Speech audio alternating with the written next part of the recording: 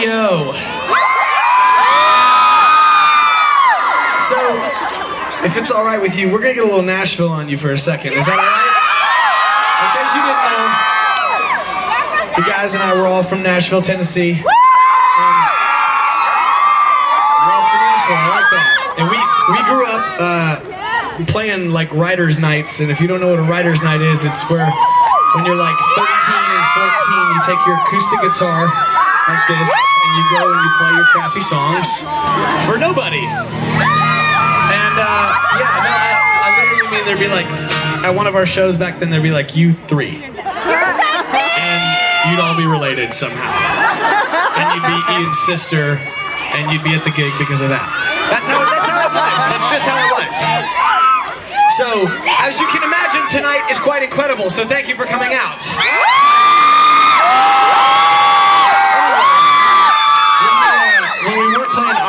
Songs, we were playing other people's good songs, and this is a band that we loved. So if you know this song, uh, this is by uh, a group called Weezer. If you know it, help us out.